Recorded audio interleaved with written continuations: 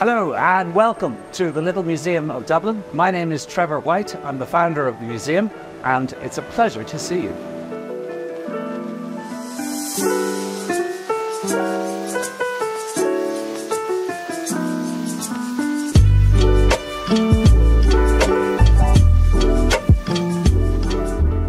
The Little Museum of Dublin is a people's museum of Dublin, and as you'll see, our entire collection has been put together through public donation.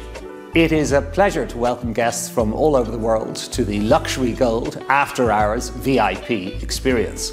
What guests can expect when they come into this building is a warm welcome from our team, a glass of bubbles perhaps, uh, a personalised tour of the Little Museum led by myself, and uh, an insight into some of our favourite artefacts within the collection.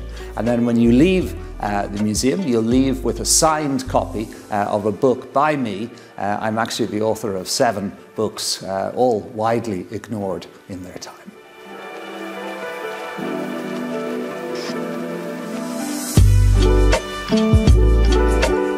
This is my favourite room in the museum. We call it the Treasury.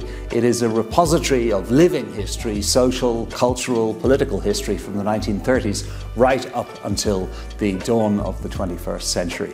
And as I said, what's really interesting about this collection is that it's been put together by the people of our city. This little museum is a gift to Dublin from itself, but it's also a gift to you, wherever you're from.